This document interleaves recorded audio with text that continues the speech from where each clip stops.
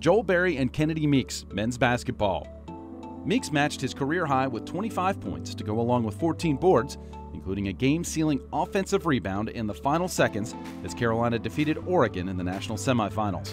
Berry, who was named Most Outstanding Player of the Final Four, scored a game high 22 points and chipped in six assists to lead the way to the win over Gonzaga for the national title. Chris Cloutier, men's lacrosse.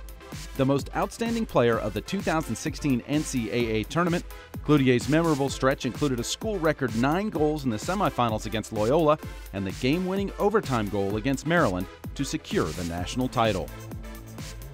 Allie Messinger and Megan Ward, women's lacrosse. In Carolina's four game tournament run, Messinger racked up seven goals and eight assists, including a career high six points in the championship game against Maryland.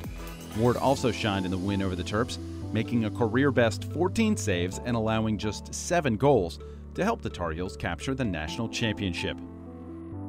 Jessie Aney and Hayley Carter, women's tennis.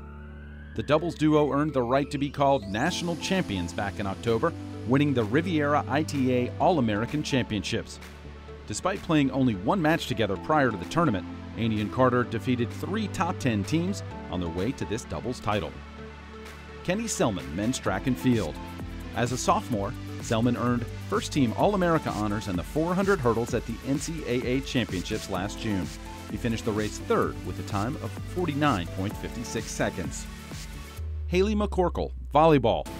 The senior opposite hitter had a career day in the second round of the NCAA tournament, hitting 565 with 14 kills and just one error in a win over Coastal Carolina, helping the Tar Heels make their third Sweet 16 in program history. Performance is Men's lacrosse, Chris Cloutier. Chris Cloutier paced the offense for men's lacrosse in the Final Four.